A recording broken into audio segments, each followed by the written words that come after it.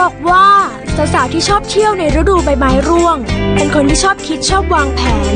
ไม่ชอบความโลดโผน และมีโรคส่วนตัวสูง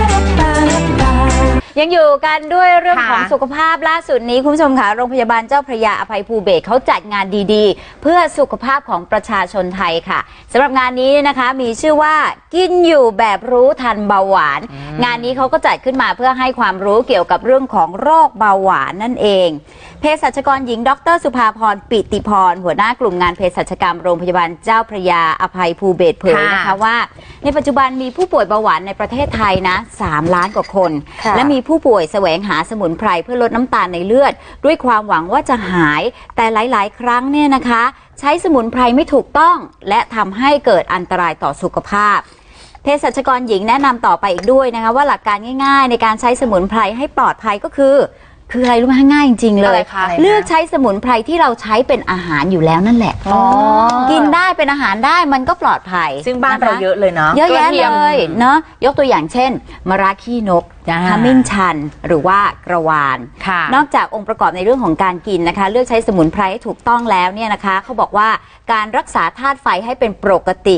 ก็ช่วยได้ในเรื่องของการพยุงอาการเบาหวานทำยังไง ก็คือไม่อยู่ในที่เย็นๆมากเกินไปนั่นเองอืมการออกกำลังกายนะคะ ก็สามารถช่วยเผาผลาญคาร์โบไฮเดรตช่วยลดน้ำตาล และช่วยทำให้อินซูลินทำหน้าที่ได้ดีขึ้นได้ เช่นกัน เชิญฟังเสียงเลยค่ะค่ะหนึ่งเนี่ยเราต้องเพิ่มธาตุไฟให้กับร่างกายก็คือทานของขมเพื่อไปบำรุงตับ ตับเนี่ยมีหน้าที่ในการสร้างธาตุไฟสร้างน้ำย่อยนะคะ อันที่สองเนี่ยทานเครื่องเทศ ทานอะไรที่มีรสเผ็ดร้อนกระจายลมเช่นพริกไทย ในงานนี้เราก็มียายาธาตุน้ำอบเชยนะคะอ่าแล้วก็รวมถึงเครื่องเทศอื่นๆนะคะพวกตำรับยาที่ต้องใส่พืชที่มีรสร้อนลงไปนะคะแล้วนอกจากนั้นแล้วเนี่ยนอกจากขมแรกๆเลยนึกถึงของขมของ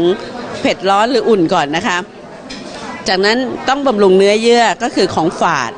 พวกเอ่อมะขามป้อมนะคะขมิ้นชันนะคะ พวกนี้เนี่ยก็จะช่วยในการที่จะทำให้เลือดลม ความฝาดจะทำให้เนื้อ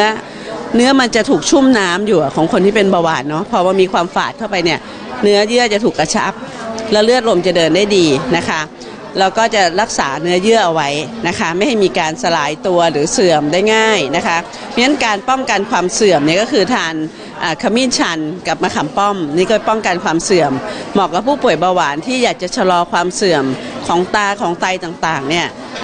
พวกนี้ในทางวิทยาศาสตร์ก็มีสารต้านอนุมูลอิสระนะคะ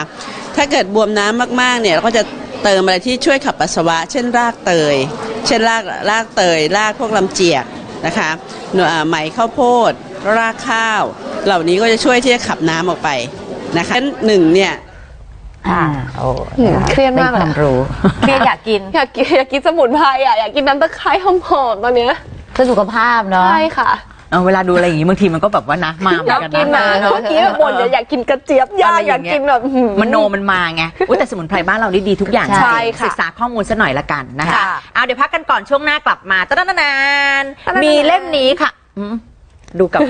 หน้า และดูจะเล่นตลก เออ แต่จริงๆเราพลาดเออนี่นะคะเตรียมให้พร้อมก่อนเข้าอนุบาลเล่มนี้นะคะ บอกเลยว่าแม่แอมเป็นคนแนะนำเพราะว่าเธอมีความสุขกับการค้นหาชีวิตจริง ๆ ของลูก อ่า ใครที่มีปัญหาตอนนี้เปิดเทอมแล้วลูกงอแงร้องไห้ไม่อยากไปเรียนค่ะอ่าใครที่มีปัญหาคิดไม่ออกจะให้ลูกเรียนแบบไหนดีนะคะ เรียน2ภาษาดีนานาชาติดีหรือว่าเรียนไทยดีหรือว่าโรงเรียนทางเลือก ช่วงหน้ากลับมาคุยเรื่องนี้ทั้งหมดเลย รับรองครบค่ะค่ะ ขอบอกว่าสาวๆที่ชอบเที่ยวฤดูฝน เป็นคนที่คิดถึงความรู้สึกของตัวเองมากเกินไป มีความโรแมนติก และเข้าใจผู้อื่นได้ดี